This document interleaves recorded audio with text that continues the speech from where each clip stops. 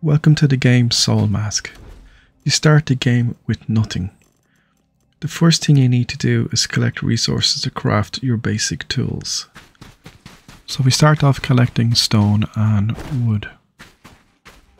Let's get some more stone and then a few more pieces of wood. We should have enough now. First we will craft a stone pickaxe. The quality of the tool depends on your crafting level. Next, the stone axe. We get lucky with another epic quality item. Then we make the stone scythe.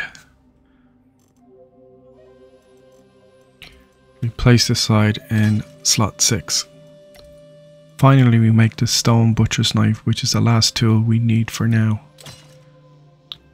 We made two knives this time. As you can see all tools are of epic quality. Now we need to make a weapon. We can't make the stone blade as it needs flint, a wooden handle and thick rope. The stone great sword also needs the same materials. We need to make a weapon based on the materials available to us. The wooden spear only needs logs and hardwood. Let's go chop down a tree to get some logs. This tree looks like a good size.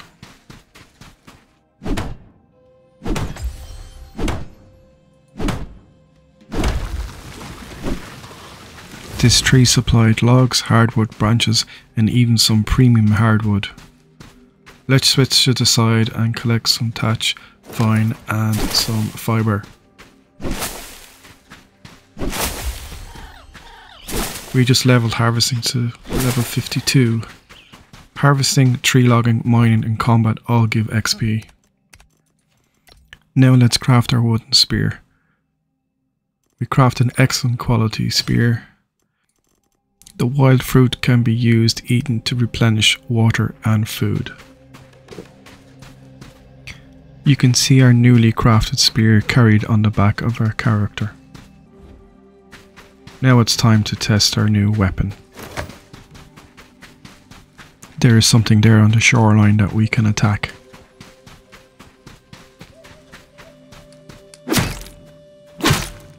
The coconut crab had no chance. Let's use our butcher's knife to harvest some meat, blood and shells. Let's kill one more crab. Harvest some more materials.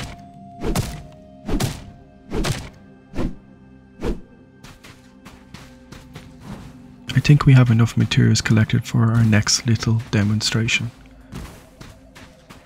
Let's head over here just past the trees so we can check our inventory.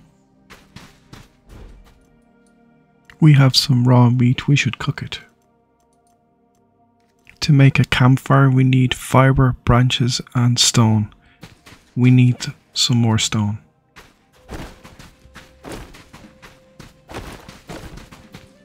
That should be enough. We are now ready to craft the campfire. As soon as it's crafted, we shall place it. Once placed, we press the E key to open the craft menu. Select the cooked meat, press E to add it to the queue, and cook. Here we've added 19. Uh, it's going to take 16 minutes to cook that much. That's going to take too long. So if we want to, we can cancel by pressing the X. When you click on the X, it will finish the last cooked item before cancelling. Let's move the cooked meat into our inventory. Now we can select the meat, use it, and there we have a bonus from the cooked meat which will last for 5 minutes and it looks like it gives us plus 50 HP.